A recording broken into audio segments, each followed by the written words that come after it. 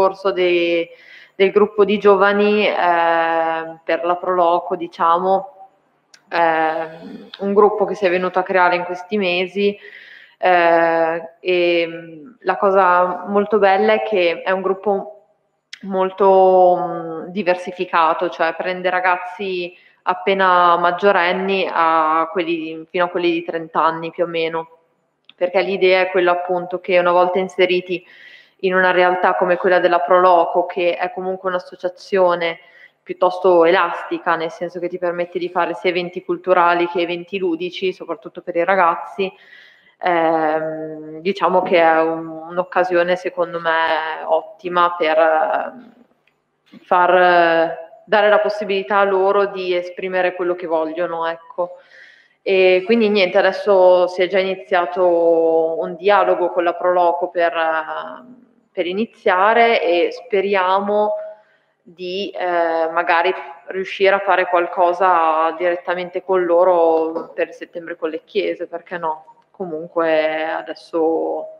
adesso dovrebbe iniziare, insomma. In metà giugno è partito il gruppo da Canterbury che attraversa eh, la Francia, Lussemburgo, attualmente credo che siano in Lussemburgo, per arrivare a Roma in uh, fine agosto, primi di settembre, questo Road to Rome che coinvolge ovviamente dei giovani perché è un percorso faticoso ed è un percorso che vuole essere, non dico somigliare a, San, a quello di Santiago di Compostela, però eh, l'intento è quello di ehm, arrivare a considerarlo un altro percorso alternativo importante. Ecco, su quello, siccome il 14 arrivano a Fidenza, quelli che arrivano eh, da nord e si sono già passati, tipo Fiacolo Olimpica, il bordone del Pellegrino, che sarà questo bastone che viene passato,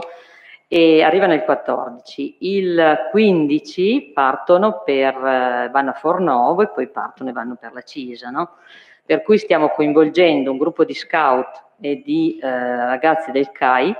che eh, facciano lo stesso percorso da Parma lungo la variante che abbiamo inaugurato, mentre gli altri partono da Fidenza e arriveranno poi a Fornovo insieme e quindi stiamo coinvolgendo anche lì, poi dopo faremo un appello, adesso appena si sa di preciso, l'orario, il giorno e tutto eh, per eh, coinvolgere anche dei giovani del nostro paese in questo percorso che ha,